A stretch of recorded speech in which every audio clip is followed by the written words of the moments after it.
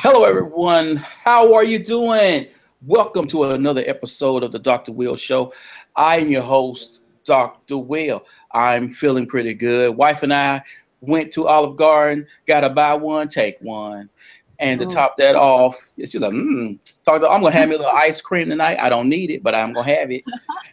and uh, I'm sitting here with Christina Torres, and we will be talking about race in education. So, for those of you who are watching this show, hopefully this topic is not too controversial to you. We want you to join this conversation. We want you to be a part of this conversation. Tweet it out, get a back channel going on, uh, and hit us up. So, for those who are watching this show and have no idea who Christina Torres is, and that would be a shame. Christina, will you please introduce yourself? Sure. Hello again. Um, hi, my name is Christina Torres. Uh, I'm a seventh and ninth grade English teacher and drama teacher in Honolulu, Hawaii. I currently teach at University Laboratory School on the island of Oahu. Um, and yeah, I do teaching stuff. I, I roll with these cool folks at Educolor, which is one of the many reasons why I like talking about these things. Um, yes, that's me. Awesome. Awesome. All right. So let's just get into this. Now, race is one of those topics that is very difficult to talk about, especially in mixed company. Now, I'm pretty sure that we both know people that are great folks, but when it comes to race, they either gloss over it or mm-hmm. they don't see the issues that we see. Mm-hmm. Why do you think race is such a difficult topic to talk about. And why does race matter in education? Yeah, I think that's such a great big question. And I'll definitely at some point send out. There are a bunch of great links to Jay Smooth, for example, is a great uh, sort of speaker to this about why it's so hard. I think one of the reasons it's so hard is that one, society has made it very hard. Um, if you just look at things like you know some of the textbooks today and things like that they're starting to really gloss over some of the systemic things that have made race an issue. Um, one of the pushback i get a lot from folks when i start talking about race and they don't want to talk about it is they say that well race is just a social construct and it's not really real and we created it so we should just ignore it um, and the problem is, like, yes, race might be a, a, construct, but the problem is it's one that not only are we all living by, but is affecting where we can live, how much money we can make, who pays attention to us. So even if it's a construct, it's one that's having very real ramifications on us. Um, so I think it's just in some ways there's that people just don't want to. People want to think it's it's over, that it doesn't exist anymore.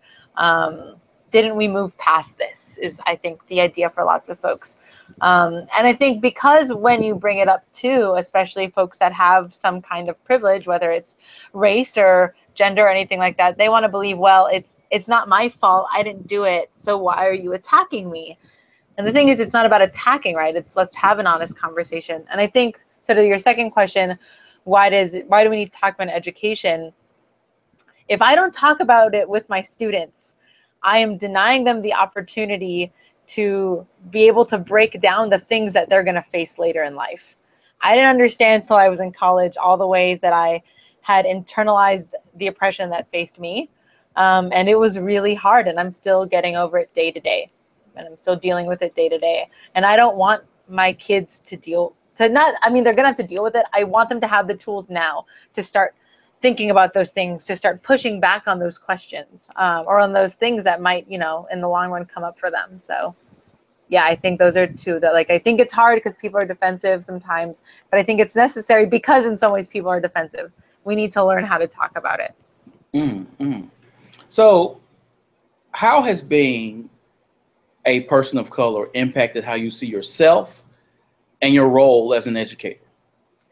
Oh yeah. Um, so I uh, so yeah, that's a great question. So my parents, uh, I'm mixed, right? So I'm half Mexican, half Filipino, and both my parents actually grew up much more in like South Central LA. And my dad was for a part of time there, and then a part of his time in a little area suburb, mostly called Pico Rivera.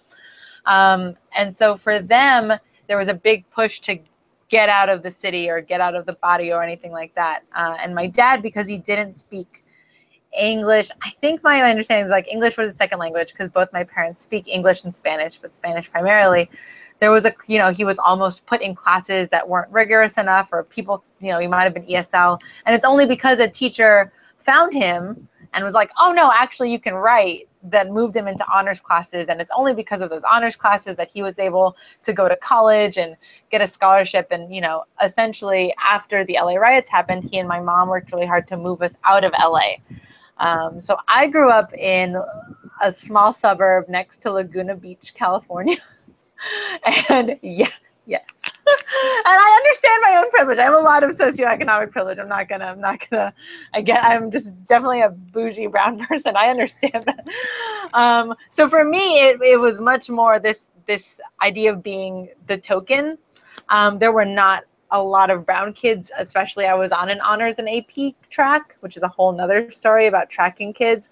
I was on an honors and AP track and there were certainly not a lot of Mexican students and not a lot of kids of color in general. It was mostly white and then mixed in with that Persian and East Asian. Um, and there were a lot, there was a lot of jokes and, but like not funny jokes. There was a lot of, you know, oh, go back to Mexico. I heard that a lot growing up.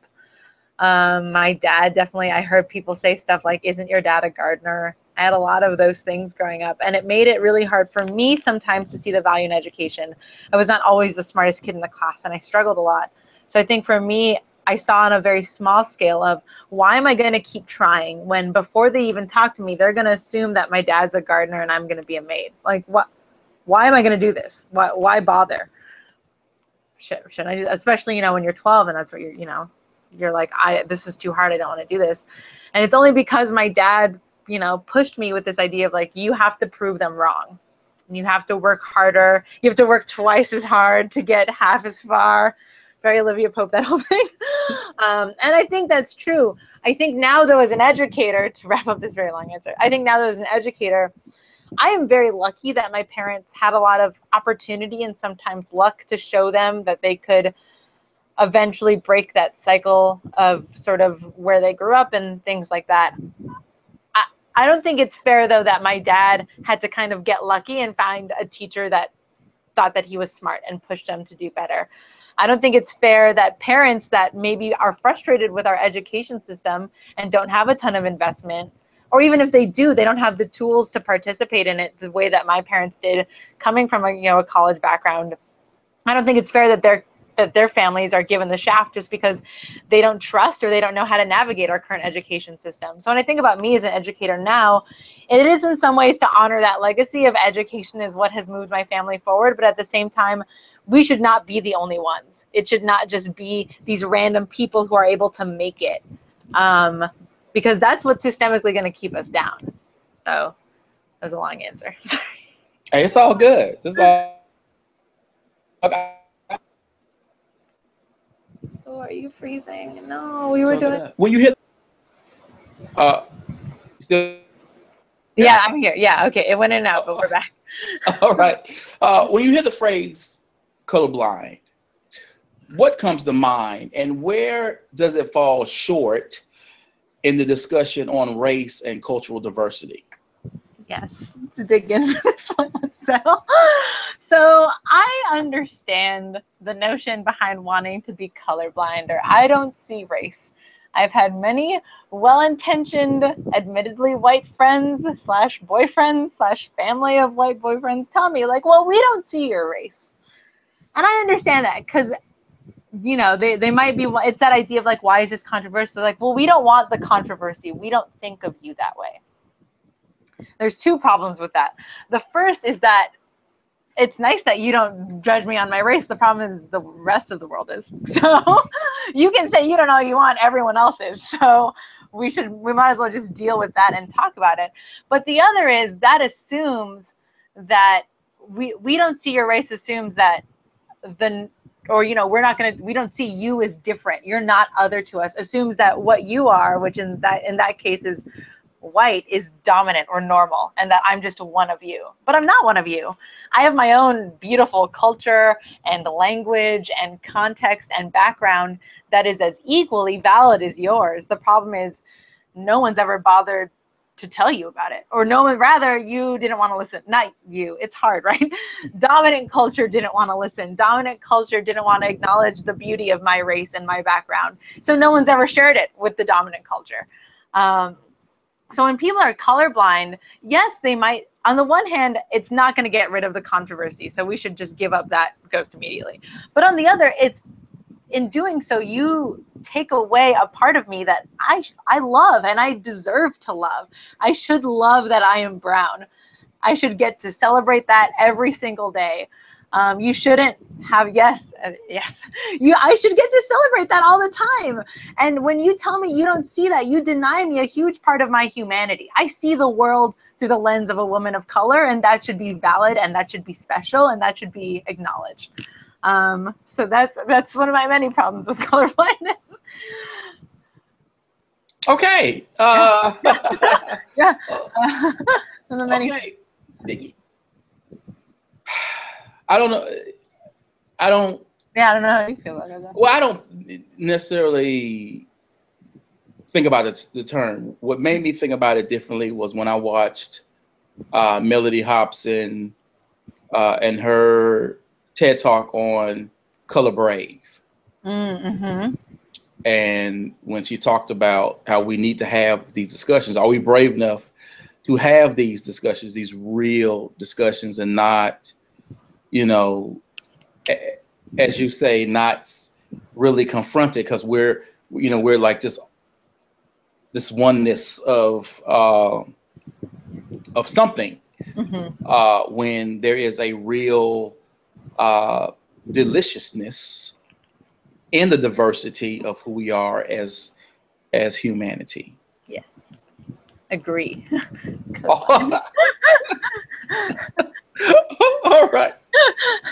What you said. well, thank you, thank you, thank you. So let's get to modeling. Now, the, this modeling piece for me is when I think about race and education is one of the most important uh, parts to it.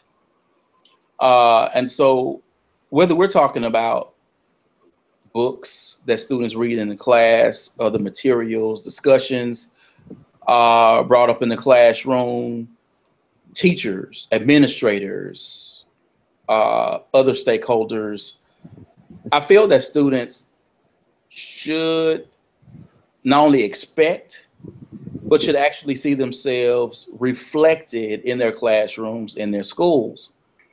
What are your thoughts on modeling and how do you work to provide such an experience for your students?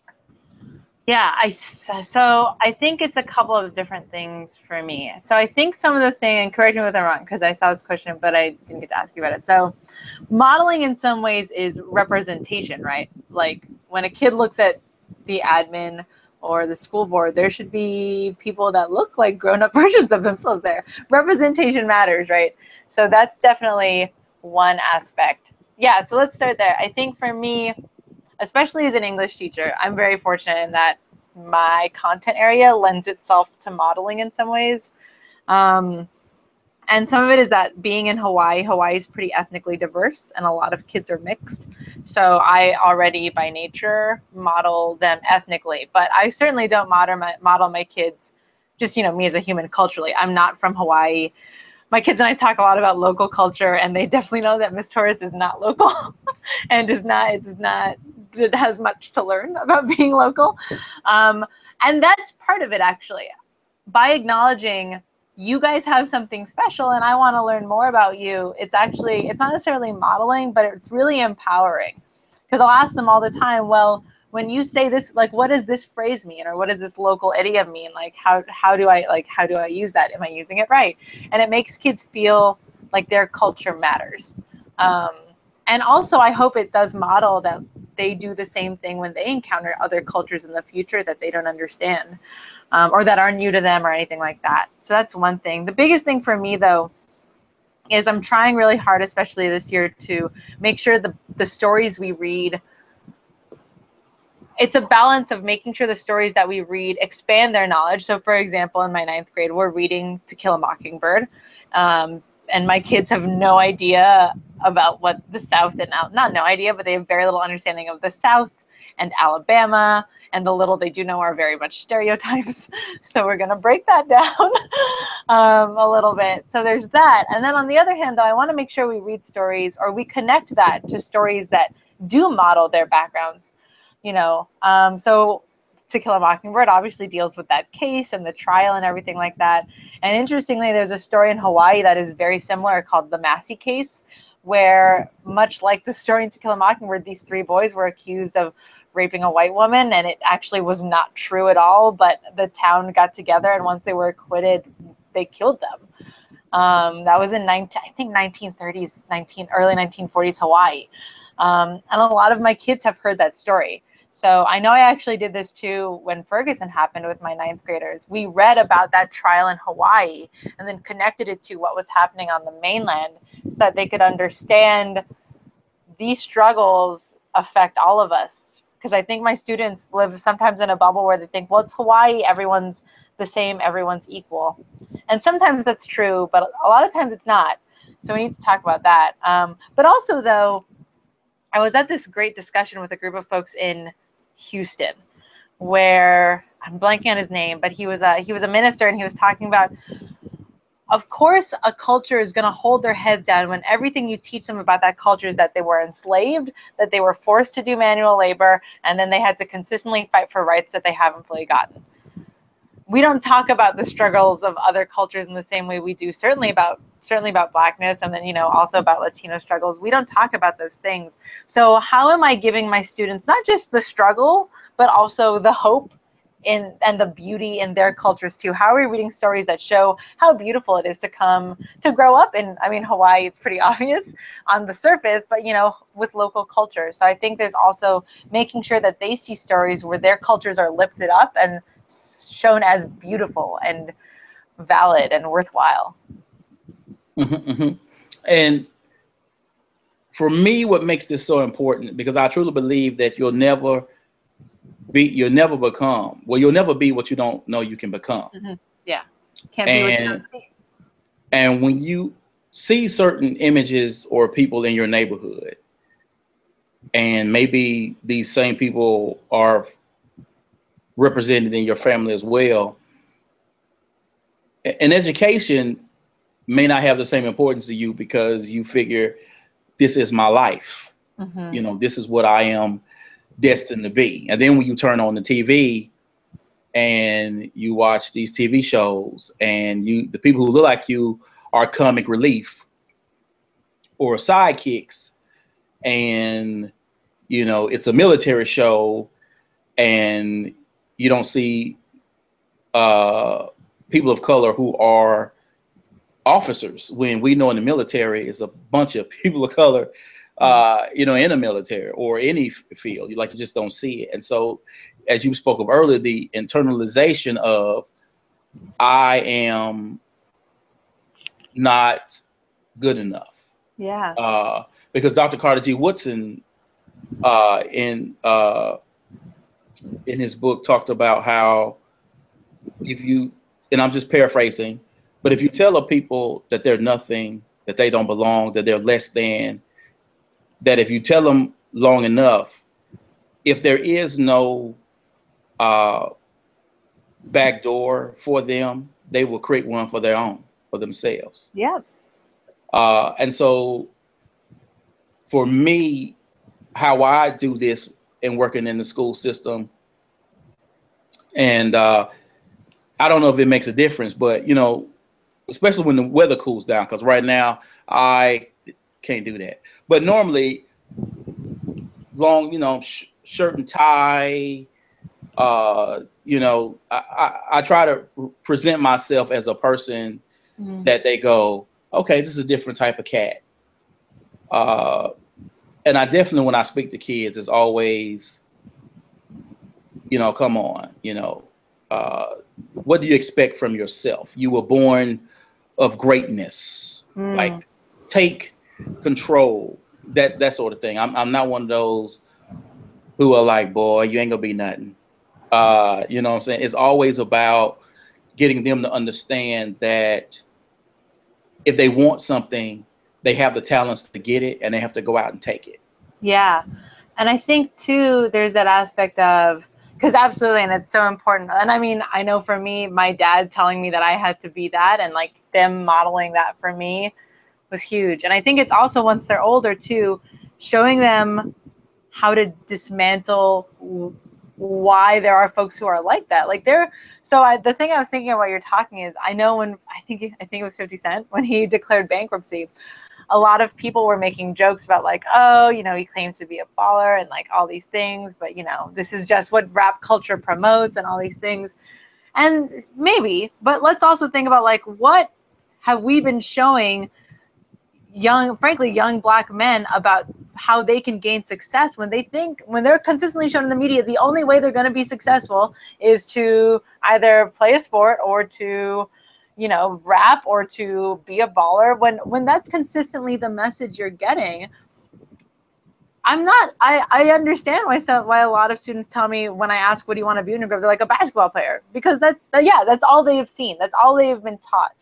So I think it's also important to teach kids when they're like, oh, but you know, all of these guys, all of these black people are gangsters and da da da. It's like one, that's not true, but also when there are communities of color that are struggling particular ways, why is that happening?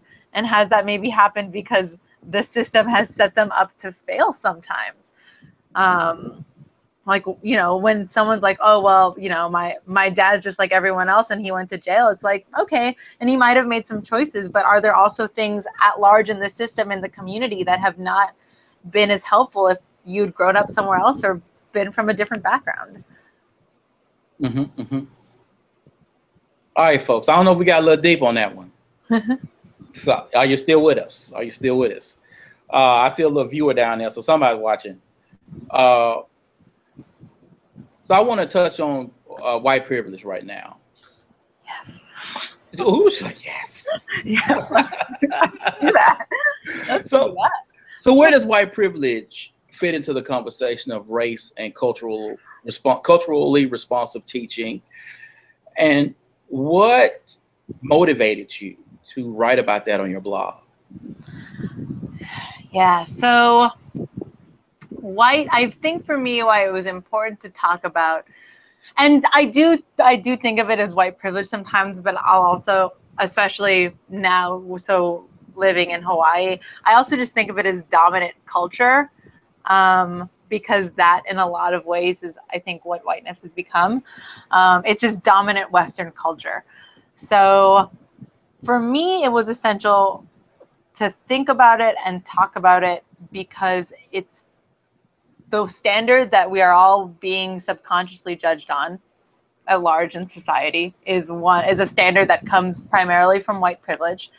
Um, and then also because i want my students to be able to again navigate that and i struggle a lot with that because that's that whole code switching argument right of like how do you keep your culture and not assimilate but learn to navigate the system it's a balance i still don't really have, I think. Um, but I want them to be able to navigate that, but then also essentially dismantle it at some point. That's the hope, right? That white privilege is just dismantled. Um, but for me, that's why it was important to talk about it. I think too, though, there's just this insidious factor of white privilege where if you have or privilege in general right? Because let's be honest i come from a very i come certainly from quite a bit of socioeconomic privilege. So i've and you know i'm also i'm a straight woman who was born a woman so i have a ton of privilege myself. And so i think it's understanding that my even though society validates my reality all the time it doesn't mean it's the only reality. Not everyone is identifies with the gender they're born with but society tells me that I'm okay, but someone else isn't, for example.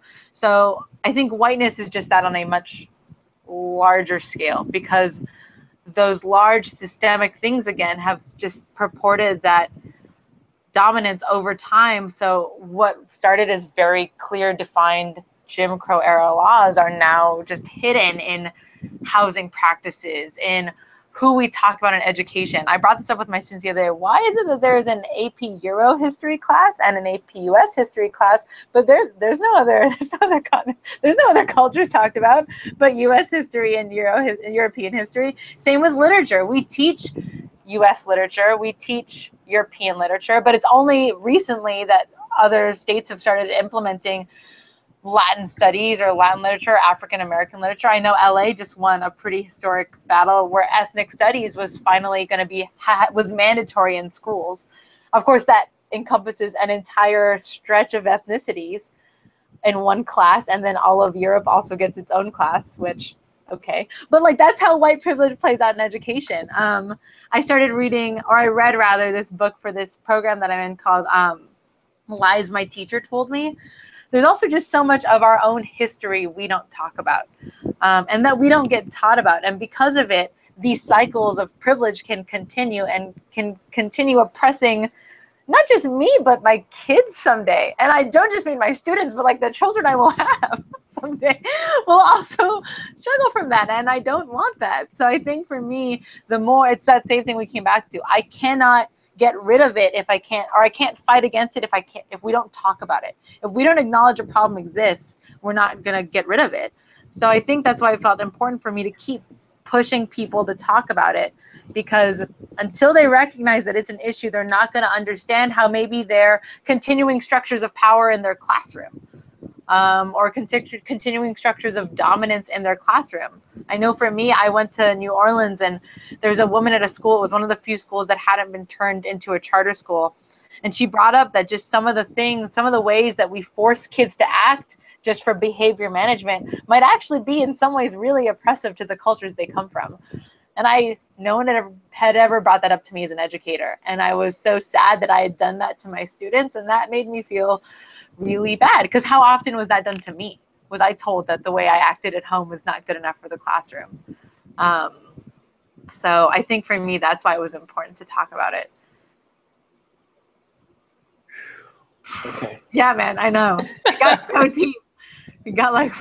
I, was, I said, "Who?" I said, "Krista, you gonna be okay?" no, not yet. Like, yes. Just, As Kendrick says, we're gonna be all right. but it's, I, yeah, I think for me, it's so funny now.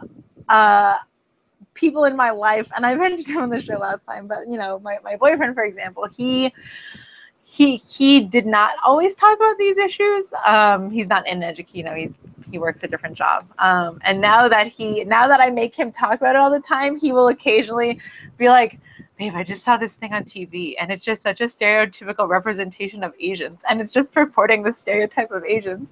And now I can't stop seeing it. And I'm like, welcome to my world every day, boo. this, is, this is my this is my 360 every day. Once you see it, it's hard to unsee it. So yes. All right, so let's try to leave, let's try to try to leave on a positive note. Yeah. Uh, moving forward, how can we have a more productive conversation about race in education? And what is your advice to folks who don't want to get involved? Um, uh, so how to have a more productive conversation? I think one of the biggest things, and again, I can put stuff out. Um, first is to educate ourselves consistently, and and the education never stops. I'm consistently learning and relearning and unlearning all these different things that I was taught. Um, so I know for me, a lot of that came from Educolor, which is this thing on my shirt right here. But if viewers can go to um, Educolor, E-D-U-C-O-L-O-R dot org. Um, it's a collective that I feel really lucky I get to be a part of, and the folks that run it are amazing, and I consider them mentors. But just a lot of great resources on why do does have why is it important to have these conversations, and then also, and um, why is it important to have these conversations, and then how can we start having them and what do I need to know and all kinds of things like that. So I think the biggest thing is educating ourselves. Um, there's a great talk from Jay Smooth about how I think it's how I learned to stop worrying and love talking about race. I'll look up. I have yeah, it's something to But Jay Smooth is a great person to watch. But that one in particular brings up the fact that we all have implicit racial bias. We all do. Every single one of us So let's stop being defensive about it and just talk about it. Because once we own that we all have it, it's going to make it a lot easier for us to not get defensive when we have those conversations. So those are two of the big things is like talk about it, educate yourself. Those are the two big things to having a productive conversation, I think. As far as like advice for people that want to get involved, those two things, educate yourself, talk about it. People that don't want to get involved, I got to be honest, well, some, Dr. Well, some of my advice is just like, well, it's coming at you whether you like it or not. So I hope you jump on the bandwagon, man. Like as clearly, I think as we've moved forward, especially with social media and things like that, we're starting to see that these conversations are happening more and more. They're getting more and more play. People are starting to realize privilege is a thing. Racism is still a thing. Bias is happening. Um, and whether or not people like it, there's going to come a time where it's going to be staring them in the face. And you can keep fighting it and you can keep saying, no, no, no. But the the tide's gonna tide is changing so i hope people start seeing that instead of running away from it they can embrace those struggles and have such a much more beautiful and difficult but beautiful nuanced view of the world it is difficult and it is hard the work is hard but there's beauty in that nuance and in that struggle. And so I hope that people that are like, oh, I'm scared to talk about it, dive in because you know what? It's better to struggle and then find your footing than it is to consistently be on the sidelines saying, Am I doing this right? Or am I screwing this up? I'd much rather we talk about it. So I hope that people decide that it's worth talking about because it really is better for them, better for students, better for better for all of us, really. Awesome. Awesome. Uh, hey, I, that's why we got to have you back. I always enjoy, always enjoy, you know, having this conversation. Uh, too. Because you're always, uh, you know, really honest about it, and and hopefully people will watch uh, this podcast and will get involved in the conversation. Send you some tweets and yeah, and, and see. So you, you rep the Educolor, so maybe you'll get some more some folks joining the movement. Yeah, I mean, I hope so. And that's the best thing is like I am by no means. I mean, I'm not even the person who founded it. I'm just a I'm just a person who feels lucky to be able to wear a T-shirt and call myself a part of it. Um, but the great thing is, is like we we are all a part of this work and there's so much to learn. I've given a very small snippet of the things I experienced, but I mean, I'll be honest, five years ago, I would have been one of those people that said, I don't want to talk about this, or why are we still talking about this? Or I said, well, my, it did, I definitely said things like, well, you know, my family got out of it, so maybe other families can get out of it. And then I understood how unfair that was. So change happens, and I hope people are open to that change. So go out there and learn stuff, folks. Learning stuff is great. That's why you're watching this podcast. I hope. and not just heard, my muppety face. and you heard it, people. Go out there and learn something. Go out all right, all right, all right. Go out there and learn something. Uh, see that I don't, I don't. People don't need to see that side of me. Um, folks, thanks for watching the show. And as always, be you, edu, peace.